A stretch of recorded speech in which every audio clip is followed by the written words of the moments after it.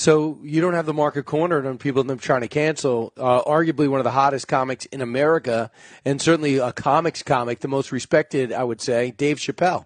Everywhere you go, he can't go two or three weeks without somebody trying to uh, upset him, or uh, when his appearance comes, them showing that they're upset that he's there. Well, I mean, he's very what was that- lucky. He's very lucky because the people who, um, uh, you know, that he uh, does his uh, jokes for, the people that he performs for, always back him. So that's the difference between him and me and other comics is that he always has the backing of the people on Netflix and they always stand up for him and come to the fore for him.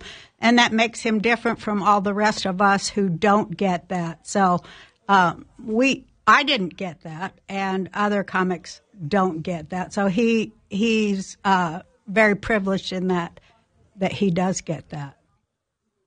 did you find? Dave, you find- Dave is uh, Dave uh, is also kind of protected in the fact that he's able to say really offensive, and I I'm a Jew, so I, I found his performance on Saturday Night Live to be very anti-Semitic, and he was very protected and being bigoted too by NBC, and that upset me because you know mine was a joke and his was serious bigotry, and mine was a mistake because I say in my act that I, I racially misgendered someone I assumed to be a white woman, but uh, Dave was like purposely offending, you know, who I am and got away with it and was protected for doing it, which to me, that shows what a double standard everything in this country is about.